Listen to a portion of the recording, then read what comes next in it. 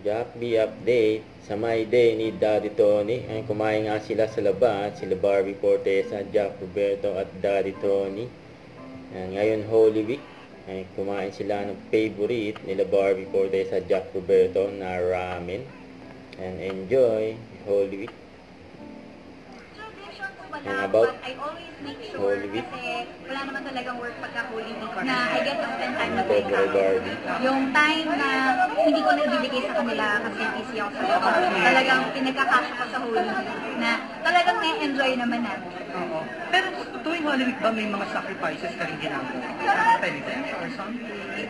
Um, kami masyado sa ma- mga ganun eh. But we usually just stay at home and uh, spend time together.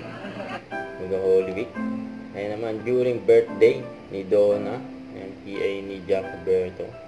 Ayun, kakasama ang Team Lota. Ayun po, TikTok pa nga. oh.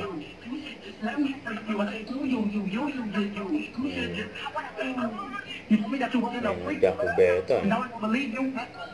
Huwag kalimutan mag-subscribe, click on notification bell for mga update po ang Victoria Action Vlog. Bye guys, thank you for watching.